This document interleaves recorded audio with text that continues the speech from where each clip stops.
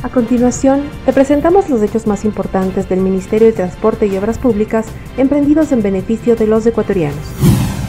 El principal de esta cartera de Estado, Gabriel Martínez, participó en la entrega del remolcador de última generación que permite operaciones seguras en el manejo de buques petroleros y comerciales en estuarios y terminales mar adentro del puerto de Esmeraldas.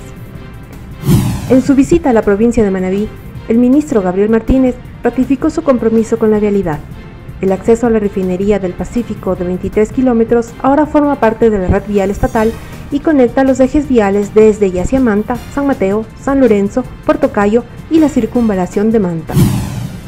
El viceministro de Infraestructura, Ricardo Paula, participó en el evento de colocación de la primera piedra, con lo que se da inicio a los trabajos de ampliación a cuatro carriles del tramo conocido como KFC Sueño de Bolívar en la provincia de Santo Domingo de los Áchilas, y, como parte de su visita, el viceministro junto a su equipo técnico constató los trabajos en el anillo vial de esta provincia.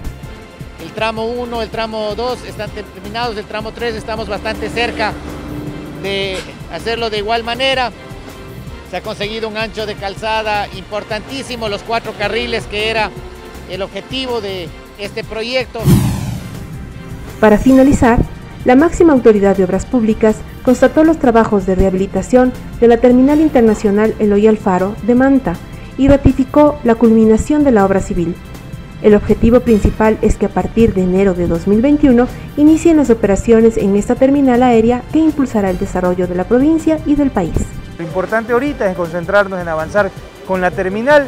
Como ustedes pueden observar, casi toda la obra civil está terminada, faltan los equipamientos, que obviamente son importantes para el funcionamiento y la comodidad de los usuarios. Con acciones como estas, el Ministerio de Transporte y Obras Públicas ratifica su compromiso con el pueblo ecuatoriano.